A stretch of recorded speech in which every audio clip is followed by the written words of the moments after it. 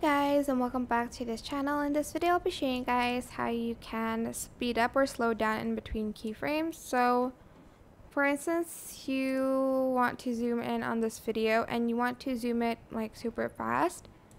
Um, make sure the keyframe isn't far apart if you want to zoom to be fast.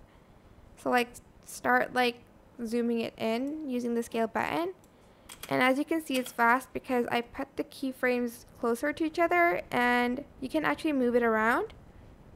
Like you can even move it super close to make it super fast. But if you want to make the zoom slower, just select the keyframe and kind of like make it further apart like this.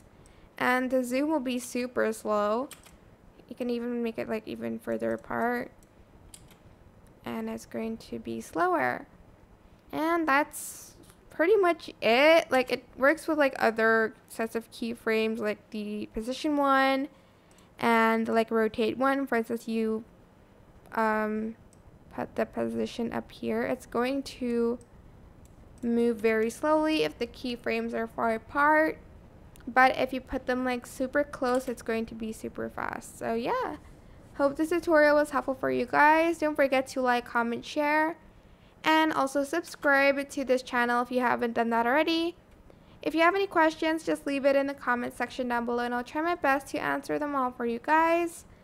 And if you found this video helpful, please click the thanks button above the description box down below. Thank you so much for watching. Bye!